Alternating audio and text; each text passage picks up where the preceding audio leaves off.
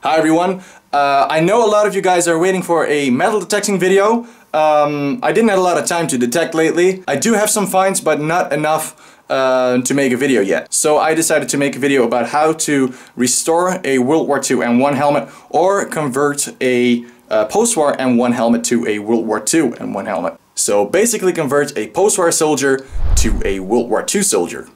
So as you can see right here, I got a lot of post-war M1 helmets. I even got more downstairs. I'm not kidding, it's really true. Um, so I got way too much helmets actually. But why not convert them to World War II looking M1 helmets? Looks a lot cooler. So that's what we're gonna do. Time for some action. Let's do this. Hoorah! Alright, so this right here is a post-war Belgian M1 helmet. Um, as you can see, there was a Belgian decal right there. I've uh, already uh, removed it and right here we can see um, on the inside right there made it look like a front seam because it's actually a rear seam. All you need for that is this just and you're done. So we're gonna try to make this helmet look like a US World War II M1 helmet and right here I've applied this years ago just for fun. Yeah, let's see what we can do. Okay, so the first thing we want to do is we want to get rid of this right here. So we're just going to use some sandpaper or steel wool.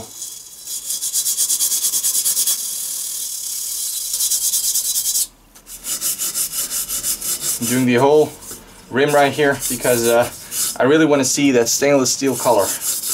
And of course, remove this decal as well.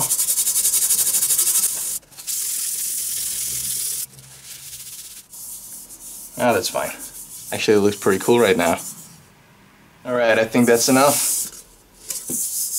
Yeah, feels pretty good. It's a uh, very thick layer of green paint right there, so it's very hard to remove it. But uh, this will do.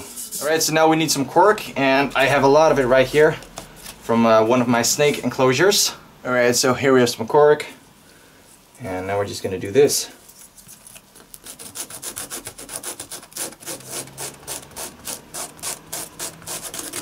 Be sure to get rid of the, the big pieces.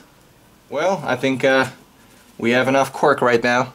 Look at this, looks like uh, space footage right now from NASA. This is Houston, say again, please. Problem. But yeah, I think uh, this is alright. Alright, so of course right now it started raining, but we're lucky we got this. Alright, so for this we're gonna use Army Paint Industrial Color Olive Drab from Fosco. Alright, hold the helmet like this. There's wind. Makes it pretty hard. Just gonna do it like that. Okay.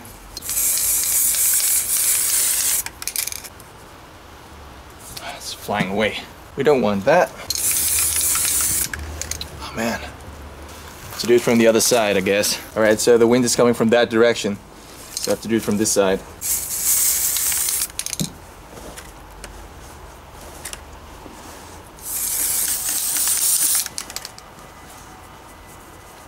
Yep, you see?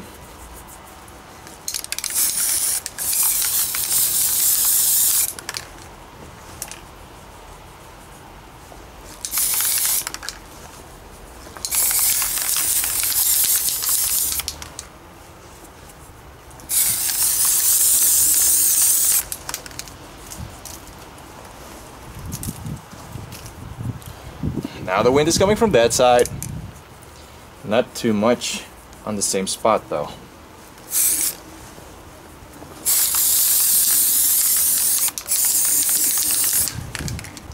Now it's coming from that side again. Now we're to do the back.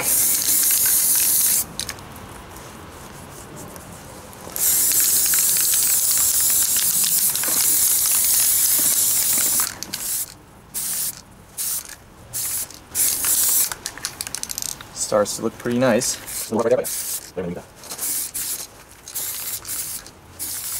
Now the wind is coming from that side again. Oh, we just had to turn again because of the wind.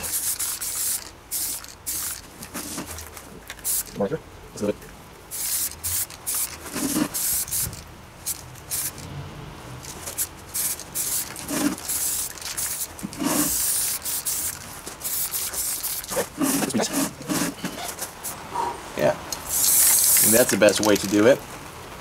Just like this, and then, yeah. Okay. On the back. Alright, now we're gonna let this dry. Alright, so the other helmet is drying right now. I have another uh, helmet right here, post-war. I've done this myself, actually looks pretty old, but um, looks cooler with uh, some cork, so we're gonna do this helmet as well.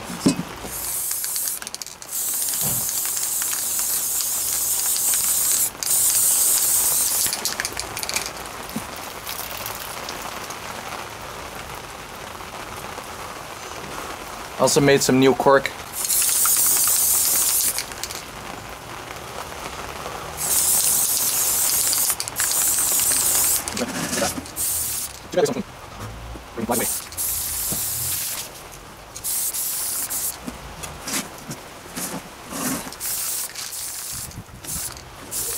So the camera just stopped recording without a reason.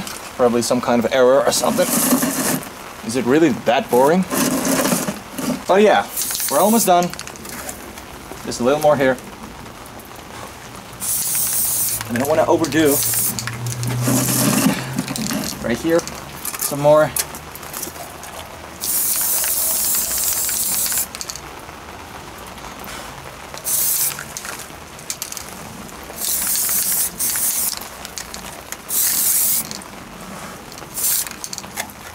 It's really fun to do this. Okay, I think that's enough.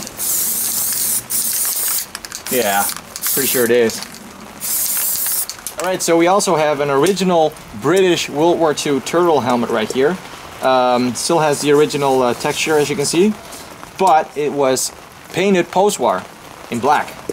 So, what we're gonna do is we're gonna remove this liner and we're also gonna spray this one. Alright, let's just start with the inside.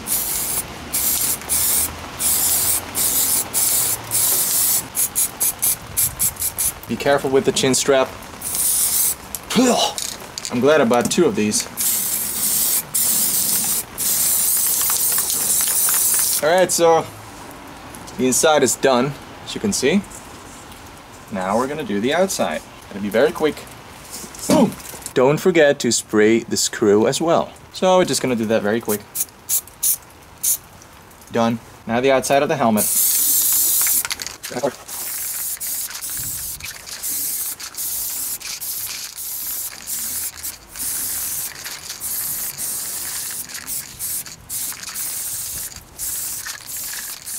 Alright, we're done. Looks very, very nice. Of course, still has to dry. Um, I don't know where because it's raining right now still. I'm actually using the tripod of the camera right now for a, a helmet. You see? it works. And right here is the other one. And the other one is inside. And I got another one right here. And the battery is actually dying as well. Alright, so it's really getting dark right now. So I'm just gonna take this helmet. I'm gonna run over there. Whoops! The gate just closed by the wind. So they want to make it hard for me. I don't want raindrops on the fresh paint, so I have to run. Alright, so the gate was really working against me because both locks were closed by the wind. I managed to get the helmets inside. They're drying right now. We're gonna do the insides tomorrow, but I do want to spray this one only on the outside. There's some kind of texture already as you can see. Uh, that's actually sand from Omaha Beach. I was in Normandy years ago and I actually used sand from Omaha Beach to paint this helmet, which is actually pretty cool. Right now, we're gonna use some cork as well.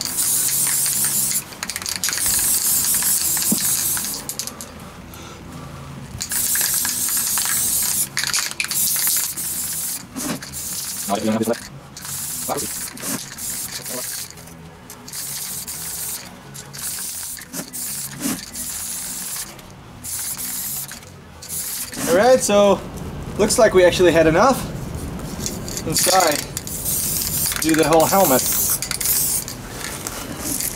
That's nice. Looks very, very cool. I just can't wait until it's dry. Maybe a little bit more right there. Ooh, almost nothing left. Come on! Yes, yes, yes, yes, yes, there we go. Ah, yeah. that's okay. Alright, I think we're done. Yeah, pretty sure. So now I need to run again with this helmet and take all the stuff and find a safe spot for these helmets to dry. But as you can see, it looks pretty awesome already. Yeah. Alright, so as you can see, they're all drying right now. Here we get the 3 and 1 helmets. You like it? Here you can see the cork all over the helmet. Just gonna turn this off, it's getting very hot in here. And of course, when it's completely dry, I'm gonna rub some of this off because it's a lot right now. And it's a lot of fun to do too. And of course, we still have to do the insides, but we're gonna do that tomorrow. And by the way, this is the cork uh, where I was talking about. No, no, I'm not gonna steal your cork. Time to go back inside. No.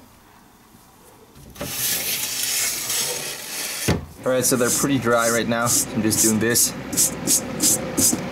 Starts to look very, very cool. Take all the big pieces off and later respray if necessary.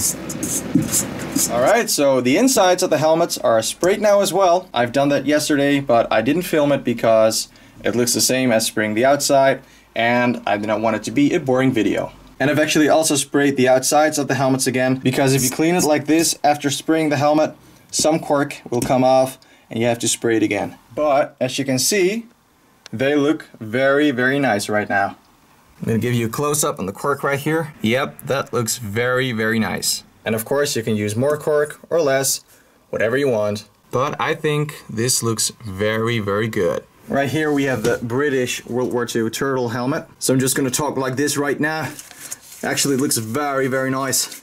That is a original World War II British turtle helmet. And look at the color right there. That is fantastic, mate. I couldn't resist. Sorry, guys. I think it looks, whoops. I think it looks pretty nice. It's definitely better than the post-war black paint. So that's awesome.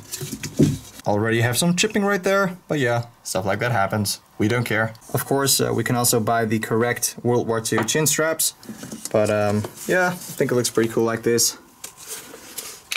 These are post-war liners. Right now, they of course look brand new, um, so if you want them to look like really worn helmets, you can um, use a little sandpaper for the edges right there, so you can get that uh, stainless steel color. Looks very cool. I always liked that with the early uh, M1 helmets because uh, the green paint didn't really hold well on the uh, stainless steel rims, so it chipped off very easily. And that's very cool to see with the original helmets, a stainless steel rim and then the green paint. But yeah, if uh, we're gonna use uh, this for a reenactment or something, it will chip off. I'm gonna show you the inside. There you can see, beautiful color.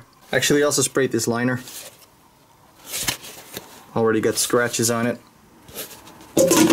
Here we have the other one. A little less cork on this one. Looks very nice. Post-war liner and a fake front seam because you can actually see there's a rear seam. It looks pretty cool. And I put a camouflage net on this one. They always look awesome with these camouflage nets. Leather chin strap, and of course a post-war liner. Yep, I really like the way they look right now and I got maybe 20 more of these helmets so if I have nothing to do then I can spray some more helmets.